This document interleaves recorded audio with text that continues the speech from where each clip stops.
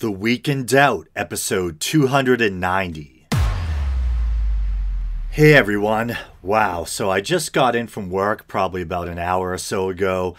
Absolutely miserable work week. So this might really be a bad time or a bad uh, headspace to be in to be talking about what we're going to talk about. Originally, I was going to talk about some guy named Mark Taylor, aka the firefighter prophet who makes all these kinds of uh, nutty predictions. Uh, as you might imagine, um, far right Christian conservative type. And I may have covered him on the show before, I'm not sure. But recently, over the uh, the past weekend, I guess he was on a podcast and he said something about how Trump's enemies are going to use some kind of secret hurricane creating technology uh, when the next midterms come around. And maybe I'll read just the first little paragraph, but I won't spend too much time on it. And so this was from Right Wing Watch.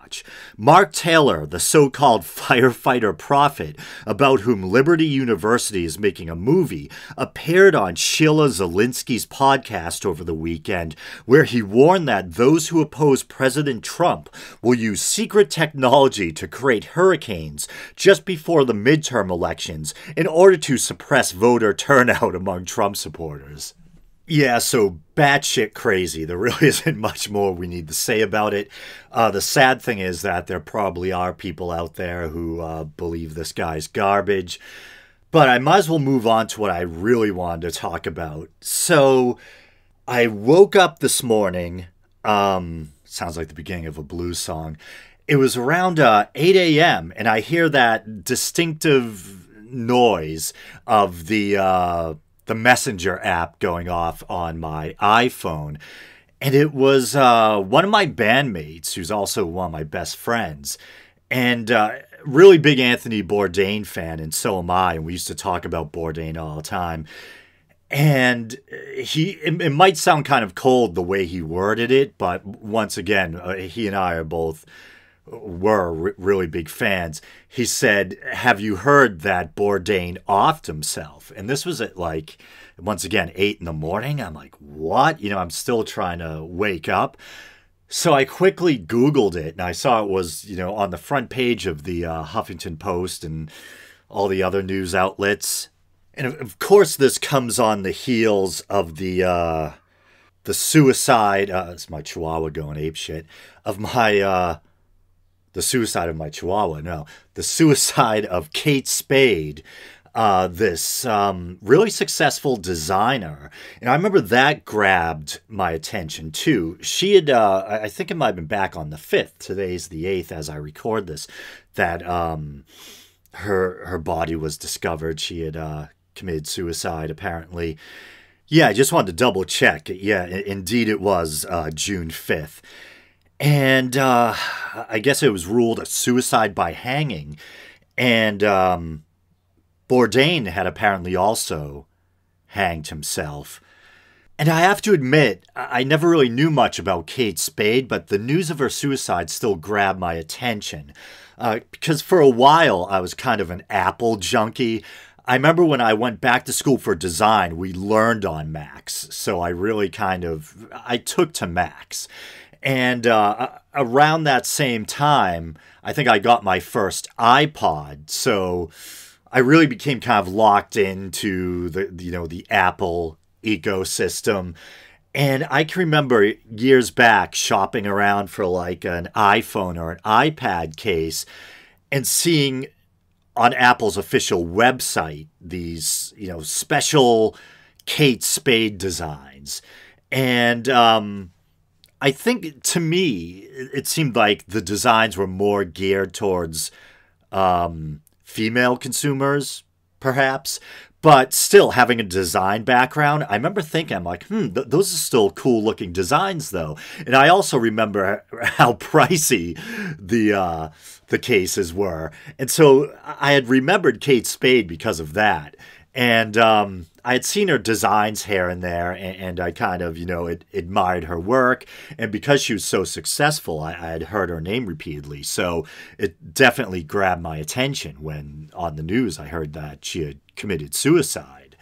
And there was a really strange development that I think maybe broke today, and I'll include a, uh, an image in the YouTube version of this episode that her husband supposedly surfaced. He was caught, you know, leaving his home or elsewhere, and he was wearing like a cartoon mouse mask and kind of casually carrying a, a, a, mug of coffee in one hand. Very, you know, very, very odd. Um, who knows what that's about? Maybe he's trying to make a point about wanting privacy, or maybe he's not exactly in his right mind uh, in the wake of his spouse's suicide, you know. But uh, I guess as it turns out, she had been battling mental illness or, you know, kind of mood disorders for quite some time. I think specifically she had been wrestling with uh, depression and anxiety. And I'm always hesitant to label things like anxiety or depression as forms of mental illness, probably because I myself wrestle or have wrestled with those things. So I don't want to think of myself as being mentally ill. You know, I'd rather, for some reason, a mood disorder sounds subtler or something. Um, yeah, but supposedly she had a long history of wrestling with those figurative demons.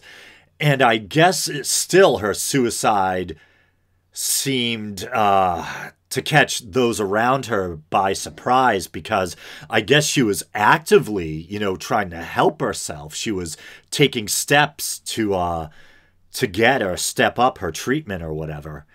And one of the first things I thought of when I heard this story was that it was another example of how it seems that no matter how much you achieve in life, no matter what heights of financial or social success you attain, that doesn't mean that you're automatically going to be free from your demons. People just seem to carry their uh, their baggage along with them, you know.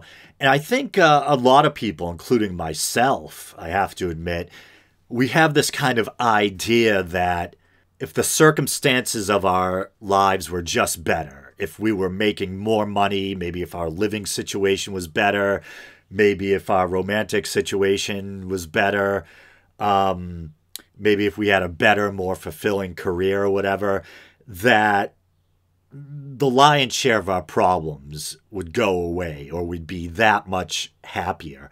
And to some extent, that might be true. I, I think that not having to worry as much about bills or putting food on the table or you know not having to live paycheck to paycheck or something like that i'm sure that does take a lot of stress off your shoulders. But still, you know, I think if you don't face your demons, I'm not saying that she didn't. But what I'm saying is, if you're a person who does struggle with these kind of issues, to some degree, I don't think it matters how much success you attain or how good your life might appear on paper or on the outside to others um the you know those ghosts that baggage can still catch up with you and and threaten to swallow you whole you know? And i think in some way maybe that can kind of be a positive reminder to those of us who may be far from that level of success or whatever or notoriety that or financial stability whatever that success isn't necessarily the answer or some cure all or antidote to wrestling with things like depression, anxiety, low self esteem, uh, whatever it is, poor body image, or something like that. Even if you're not well off, even if you don't have success or the financial stability that you wish you did, you can still start working now to better yourself, to try to look those metaphorical demons in the eye and try to um, find a, a healthy and positive way to deal with them and overcome them as much as you can. Because I, I, think, like my therapist has reminded me on numerous occasions, I'll probably always be the kind of person who wrestles with negative thoughts, who experiences that kind of bothersome inner critic and who is predisposed to bouts of depression, etc. But with the right attitude and the right kind of tricks and techniques in your toolbox, you can do your best to kind of keep that all at bay and thusly, you know, allowing yourself to still have a good quality of life and be able to experience some measure of happiness and fulfillment. A big thing for me was uh, a long time ago, probably over 10 years ago now. A therapist recommended this book to me entitled Feeling Good The New Mood Therapy. And it totally sounds like some cheesy self help book, you know, uh, based on the title alone or whatever. But it's actually written by um, I'm trying to think what his official title is if he if he's a psychologist or psychiatrist or what, but someone in the field of cognitive therapy. You might have heard the uh, you know the acronym CBT, short for cognitive behavioral therapy, and um, the idea is that there's thoughts behind our negative emotions, but they're so kind of automatic that usually we're not even aware of them. It's as if they're happening on a kind of semi or, or subconscious level or whatever. And um, if you can if you can learn to kind of capture those thoughts, approach them rationally, and pinpoint what's wrong and distorted in, in your thinking and then replace that initial negative automatic thought with a more positive rational thought. Um, it, it can almost instantaneously alleviate a lot of the uh, the negativity or the emotional angst accompanying the original thought or whatever and uh, it, it, might sound like quackery to some of you, but I mean, cognitive behavioral therapy is pretty much uh, a mainstream psychiatric tool or, or school or whatever. I think the therapist I have now has a little different take on it, or he focuses more on actions than he does cognitive behavioral therapy. Um, but I've definitely found cognitive behavioral therapy to be a big help in my life.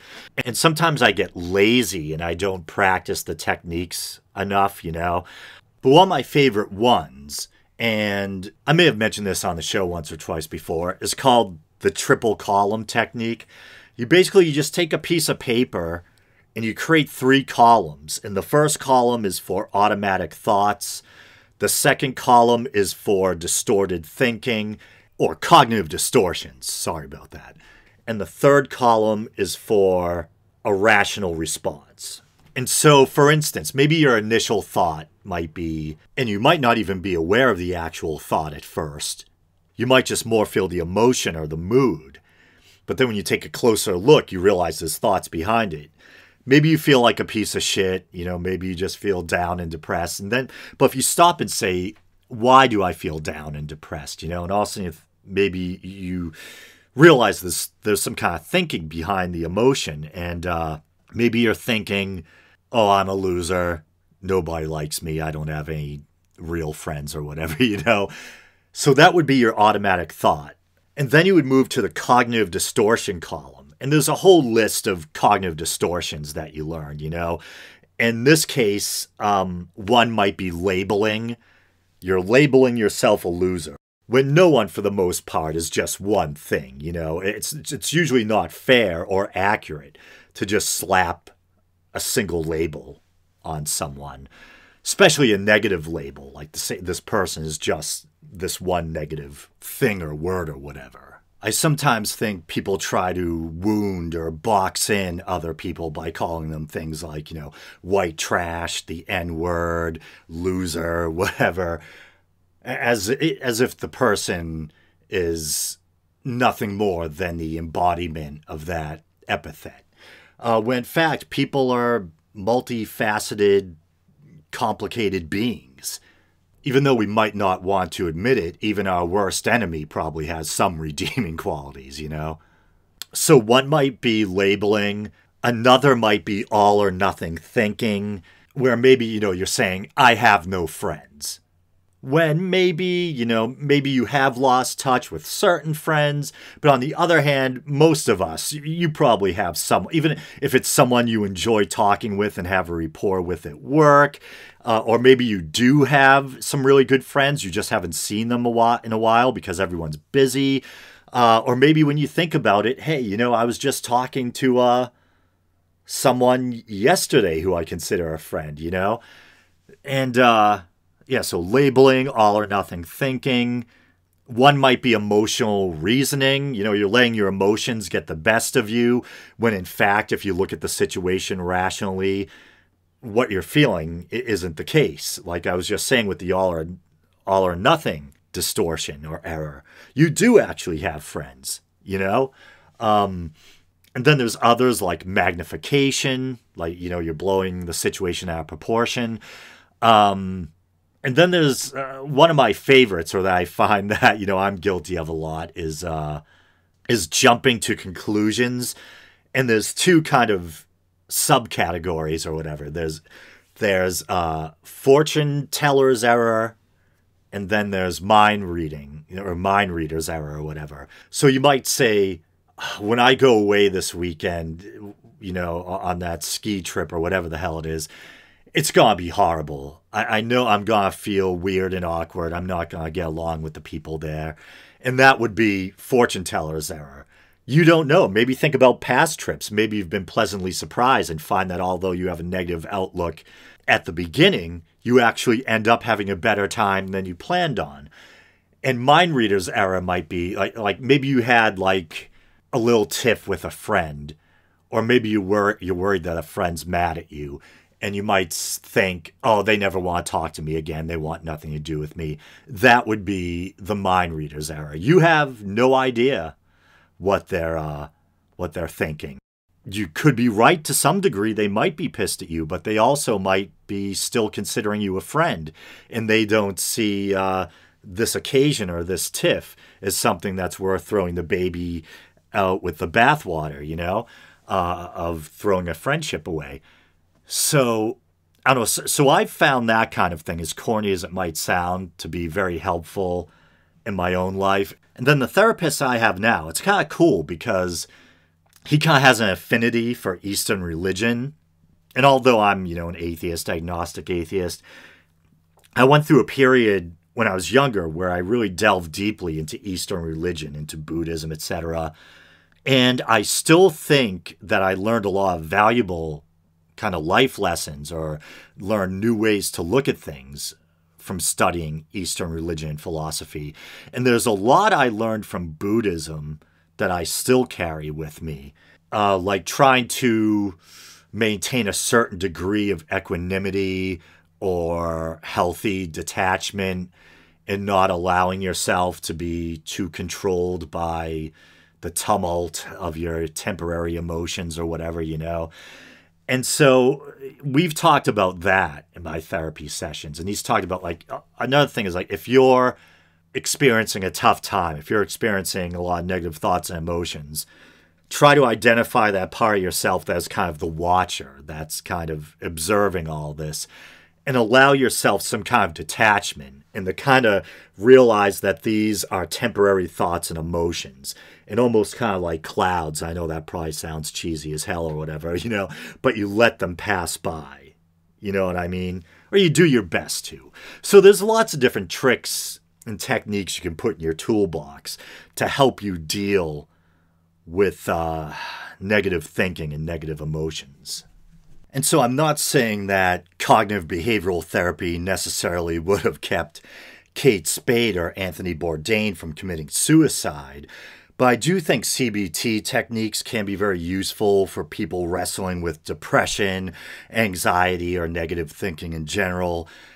And yeah, so the point I was trying to make a while back, to reiterate, is that wealth and success aren't some magical cure all or antidote for your troubles. Like I said, it probably is really nice not to have to worry about money, But despite your level of success or your income bracket, no one's a nerd or immune to the vagaries of existence or that dark nadir that can await those of us that wrestle with depression. And yeah, um, there was another component that I wanted to move into. I was thinking about how I could segue. But here's, hopefully, he doesn't mind me reading this uh, on the air or whatever. But my friend uh, sent me another message this morning. He said, It's weird. If there was ever someone who seemed to be enjoying life, it was him. I actually felt legit sadness when I heard about it because I liked that dude. And I replied, Yeah, I loved Bourdain. It was a shock at first when I first read your message, but I think it kind of makes sense in a weird way when I really think about it. He definitely had some darkness in him which is what I liked about him the morbid, irreverent sense of humor, etc. And as an ex addict, he probably had some demons. Yeah, I think that's true. Bourdain definitely was this. You know, I never met him in person, but just watching him on TV, like so many other people, I just thought he was this great guy with a great attitude who really knew how to enjoy life. And yet at the same time, there was a certain darkness in his humor, and there was a certain kind of world wariness about him, you know? And it almost reminds me of, uh, you know, it's similar to the case with a lot of stand up comedians. Often comedians, you know, like Bourdain, they're these bright, sensitive, intelligent, funny individuals but they also have their demons, you know? And uh, often, like a lot of my favorite comedians, there is a kind of darkness in their humor. And that darkness is coming from somewhere, you know? And for a lot of them, their sense of humor might be a coping mechanism in a way. And I'm not a I'm not a comedian. Um, I hope I'm at least borderline funny every now and then on the show, but I definitely use humor as a coping mechanism. I don't even necessarily mean by telling jokes or something like that, but I just mean in my everyday life, if I find myself getting stressed out or whatever, I try to see the uh, the absurdity in things. Or when stuff gets, you know, to be just too much, kind of have a oh well, fuck it, and kind of just, you know, laugh at the whole absurd enchilada just crank open that release valve a little, you know, and try to have a little fun and see the humor in things or whatever. And I don't want to get too much into the lurid, sordid, tabloid side of things. Uh, I have uh, way too much respect for Bourdain for that. But but there was one thing uh because uh, I did find myself as soon as I heard about his suicide, I, I wondered if he in Asia Argento were still an item at the time. Because not only am I a big fan of Anthony Bourdain, but it's kind of like a horror movie buff. I consider Asia Argento as kind of horror movie royalty. She's the daughter of Italian horror director Dario Argento, and uh, also an, an, an actor in her own right and uh, just seems like an eh, all around cool person. Um, and I wondered if, you know, how things were going with them, if they were still together. And I was reading this article uh, that said Argento's recent Instagram story, posted around three hours before Bourdain's death, was first reported. Uh, was a photo of herself wearing a ripped t shirt that read, in quotes, F everyone and then she wrote, You know who you are, says she captioned the post. So it sounds like she wasn't pleased with someone. Doesn't mean it was Bourdain.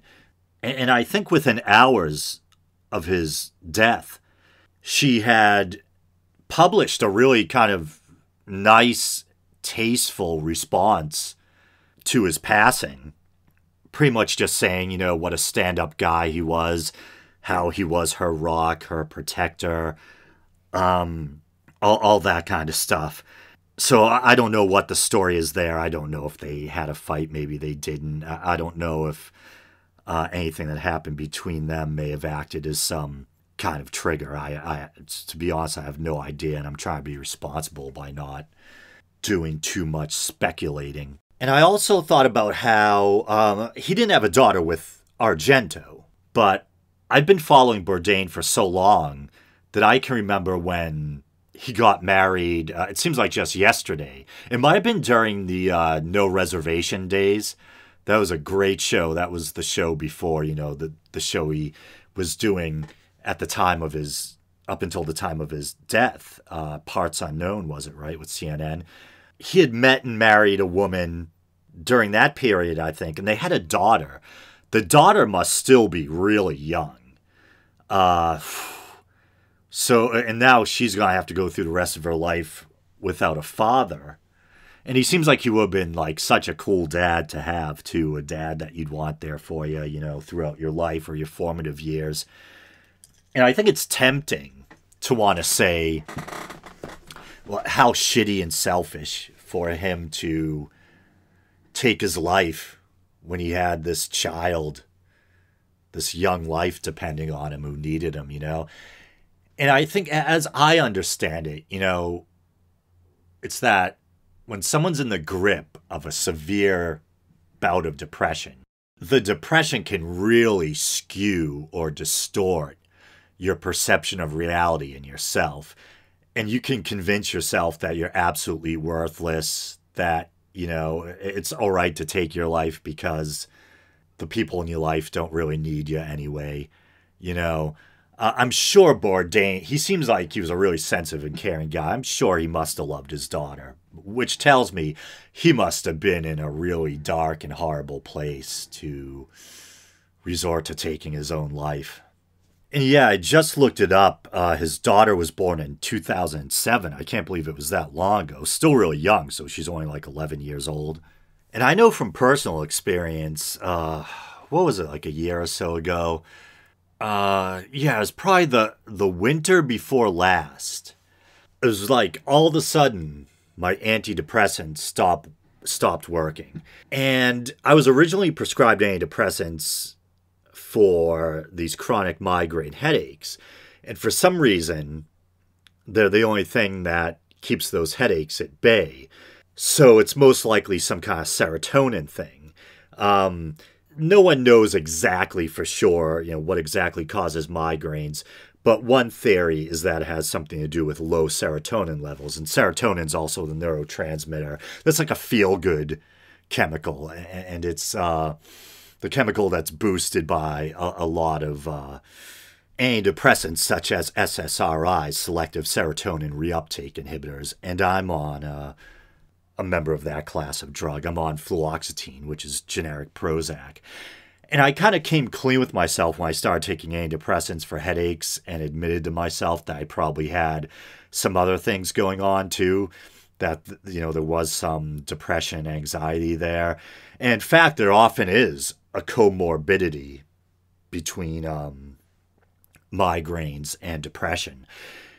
And like, yeah, so like over a year ago during the winter, all of a sudden it was like the antidepressant just stopped working.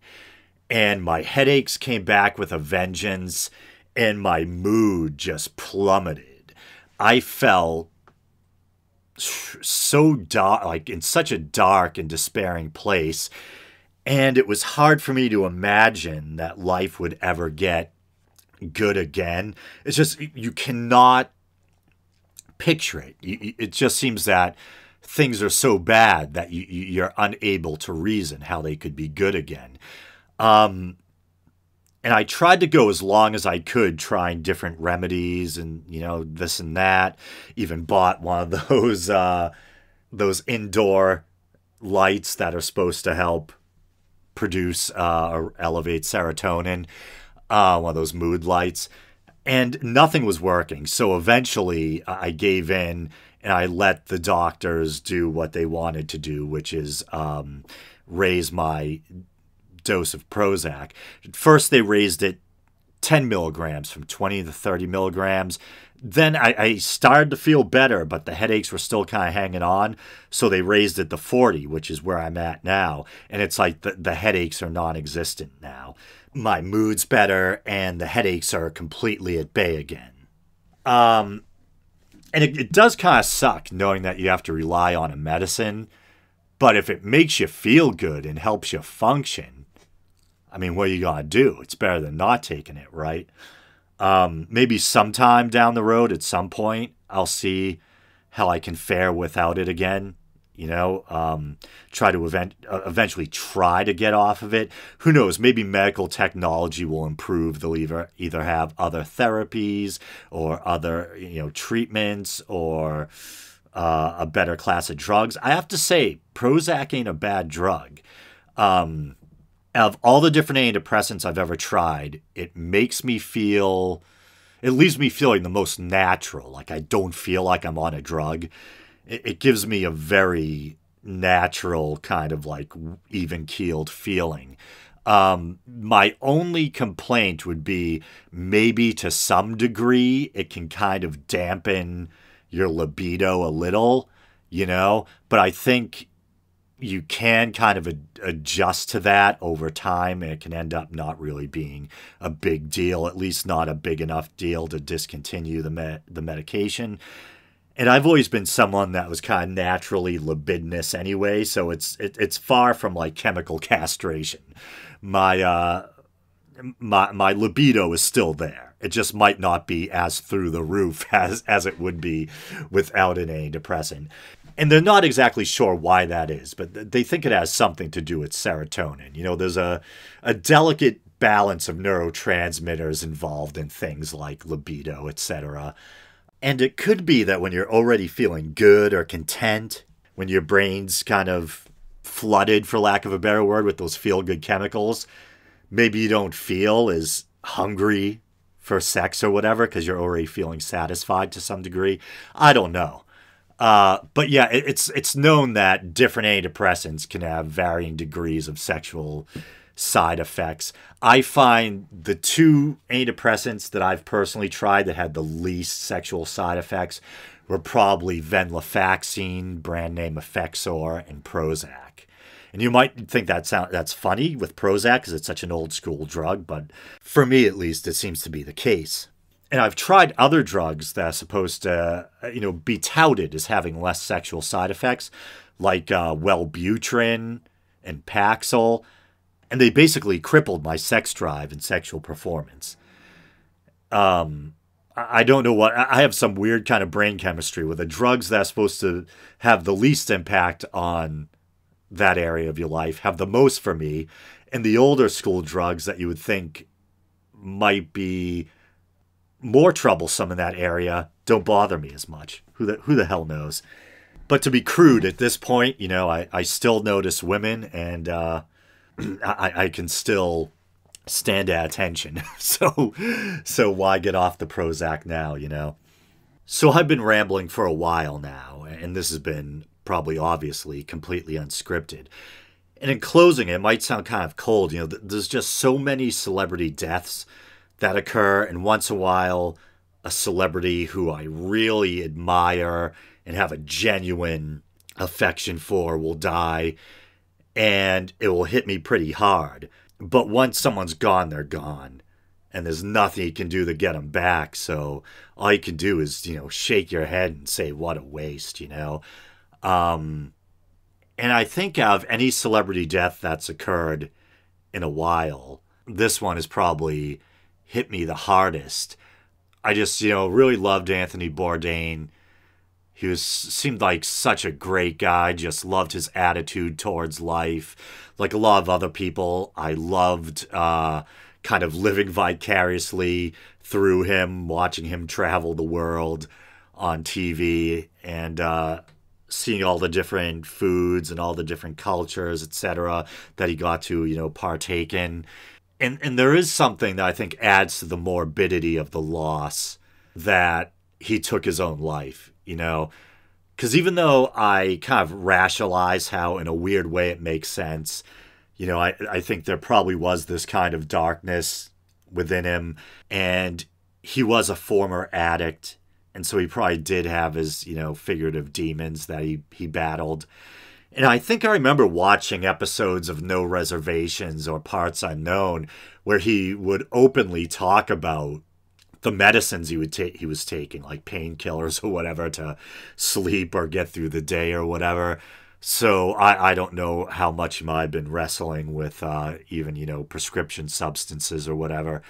But yeah so even though in retrospect putting the puzzle pieces together i could kind of see you know I, I could kind of see how he did have that kind of darkness in him that might lead him to do something like this, despite how full of life and how humorous uh, and adventurous he was, you know. Um, but still, just still knowing that he took his own life, it, it does, it, it makes his passing seem darker somehow. I'm trying to think of other celebrity deaths that hit me pretty hard. Um, it's funny, I wasn't a huge Heath Ledger fan, but I think both Heath Ledger and Brittany Murphy. And I don't say I wasn't a huge fan of Heath Ledger because I don't think he was talented. It's just because I wasn't that familiar with his work. But I, like a lot of people, I did think he was amazing. In uh, was it The Dark Knight, where uh, he portrayed the Joker. I, I loved his interpretation of that character and how much he just kind of threw himself into the role and, and the intensity of the performance he gave. what was the title of that movie? Was the was it The Dark Knight or The Dark Knight Returns? I, I forget. I apologize. But either way, um, when he and, and Brittany Murphy died, I think just because they were so young, they're like these young, attractive, talented people with their whole lives ahead of them. Not like whether or not you're attractive should you know, factor into how much worth you have as a human being or how much your death should be seen as a, a net loss or not. But you know what I mean. You just look at this person had all this these different things going for them. And uh, you just think such a waste, man. They had so much life a- ahead of them.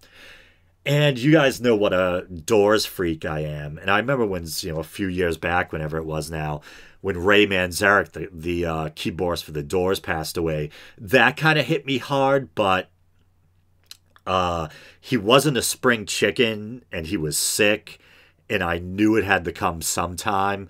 So it was still sad, and I still felt the loss, but it seemed uh, part of the natural cycle, so to speak, you know? But I, I don't know what else to say about all this, so uh, I remember when Ray Manzarek died, I said something along the lines of, you know, I don't really believe in afterlife, but if there is one, you know, I hope he's in a really good place in it uh, and having a good time or whatever. Um, and I don't even know if that's worth saying because, you know, I, am an agnostic atheist, but I'm still a- atheistic enough that I strongly doubt the existence of an afterlife or that the, uh, the personal self survives the, the, the death of the body or the death of the brain. Uh, and Bourdain seems so world weary in a way. I'm like, maybe the best reward is the perfect rest of oblivion, you know? But I guess, yeah, if there is an afterlife on some off chance, if there is one, I, I hope he's having the, the best pot. I, I hope he is enjoying the best possible status in, in that uh, hypothetical realm. But all right, guys, definitely a loss, and uh, maybe I'll watch some old episodes of um, No Reservations in honor of Bourdain.